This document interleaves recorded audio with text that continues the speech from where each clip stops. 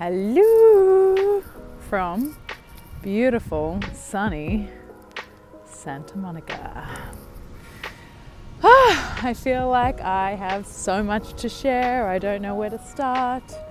Um, this is just my first vlog entry of my YouTube channel.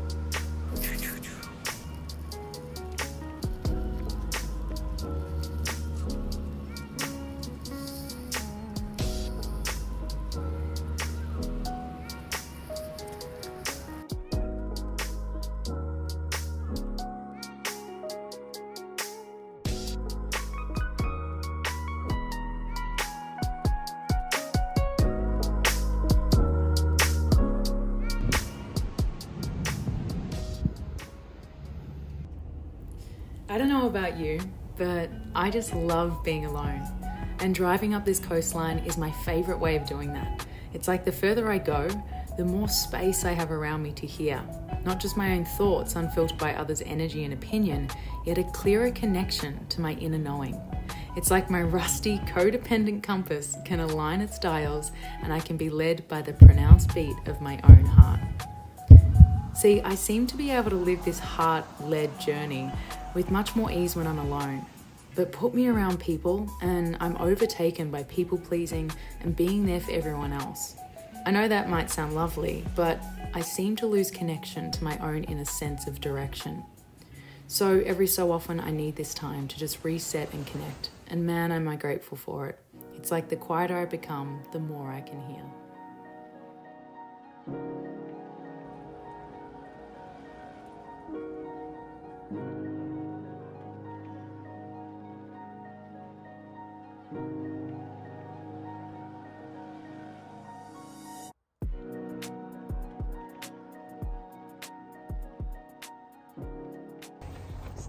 A baby.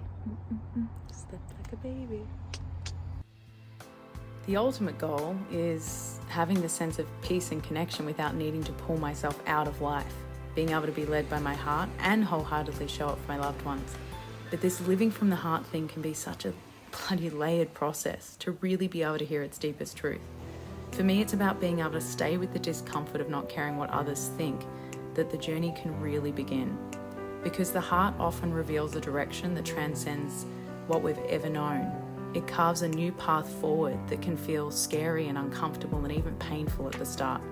And to break free, it's like a coming out that takes great courage, daring to be different, and having a willingness to disappoint others to really honour ourselves.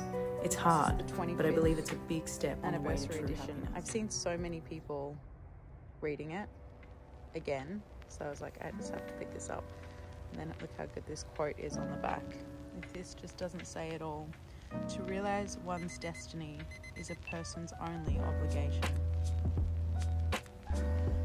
This is it. Parking lot and all. I just jumped out of the surf, cuddled up in this duvet, did my afternoon meditation. Very happy lady over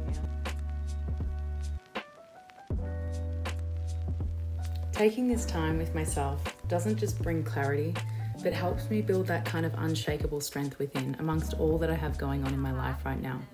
As my teacher Jeff says, if it's not good for you, it's not good for anyone, which I've always really struggled with. But the best part about that is if it's aligned, it's good for everyone, and I can really show up at the right place, right time, and serve in a way that's beyond my small ways of being and trying with a higher purpose and guidance. It's now a process of trusting that over the loud perceived needs of everyone else and my own condition, I feel bad and I really should kind of thinking. And learning true self love and acceptance so I'm not looking outside of myself for validation. And what I've really been reminded of in this trip is that loving ourselves isn't about loving what we look like or about what we do. It's about loving ourselves for simply who we are and knowing at its core that that is enough. It's a daily practice to connect to this wholeness within, but I'm coming to see that it's only from this place that true, unfiltered direction and connection to the heart is really possible.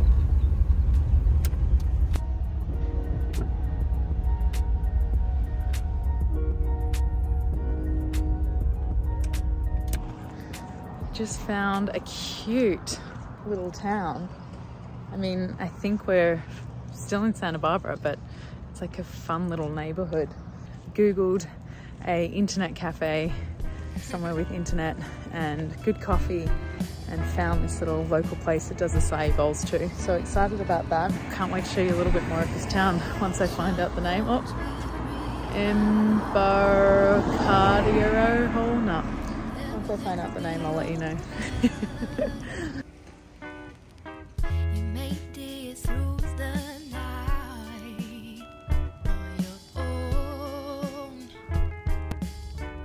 In a quarter mile, turn right onto East Ojai Avenue.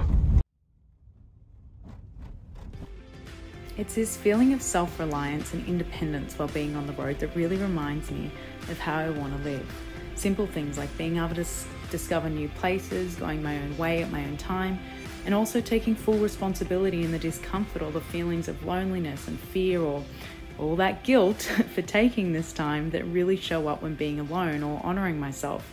It's building my capacity to be with all the feels and stay with myself amongst it, not reach outside of myself for comfort, and really strengthen that connection to my quiet inner voice and at the same time be able to hold myself with the courage it takes to follow it. I can notice what's truly charming my heart and practice letting that fearlessly lead the way.